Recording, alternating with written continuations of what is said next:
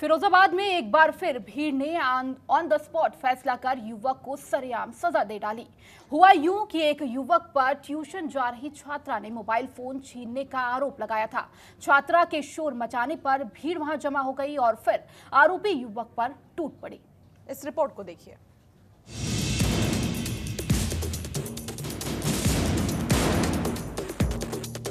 भीड़ तंत्र का ऑन द स्पॉट फैसला। चोरी के आरोप में युवक को पीटा। कानून व्यवस्था पर उठे सवाल। 20 मिनट तक दर्जनों लोगों ने पीटा। फिरोजाबाद की सड़कों पर भीड़ का ऑन द स्पॉट फैसले की तस्वीर हम आपको दिखाते हैं।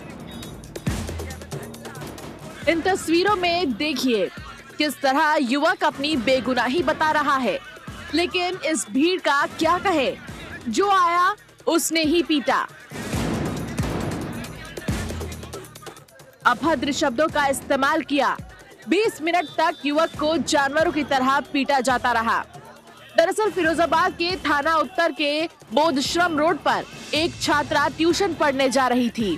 छात्रा के मुताबिक इसी बीच एक युवक आया और उसका मोबाइल फ़ोन छीनकर भागने लगा। छात्रा की चीख सुन भीड़ तंत्र ने भाग रहे कथित लुटेरे को पकड़ लिया। फिर हुआ ऑन द स्पॉट फैसला। हम आपको फिर दिखाते हैं कि किस तरह भीड़ ने आरोपी को पकड़कर लात घूसे से पिटाई की।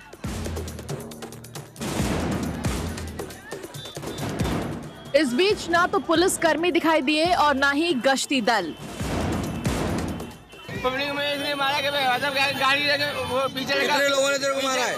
कोई गिनती नहीं है कोई भी गिनती नहीं है। बहुत मारा है। कितनी है। तुम्हारे वहाँ लगे देखो कम से कम पंद्रह मिनट हो गए भैया। बेजुबान मार रहे हैं। ठीक और मैं कुछ नहीं किया। गाड़ी में पीछे लगा बैठा उसने उसने- तो उसने- लड़की को छेड़ दिया था मार और मैं कुछ तो- नहीं किया। उसने लड़की को छेड़ दिया था बस। कोई बात नहीं। जब भीड़ युवक को पीट पीट कर अधमरा कर चुकी इसके ठीक बाद पुलिस मौके पर पहुँची। पुलिस को देख लोग इधर उधर निकलने लगे।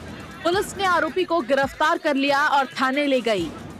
भीड़ तंत्र के ऑन द स्पॉट सजा से पुलिस की कानून व्यवस्था पर सवालिया निशान खड़े हो रहे हैं, जबकि मॉब लिंचिंग के मामले लगातार देश में हो रहे हैं अक्सर मानवता को तार तार करने वाली तस्वीरें सामने आती रहती हैं।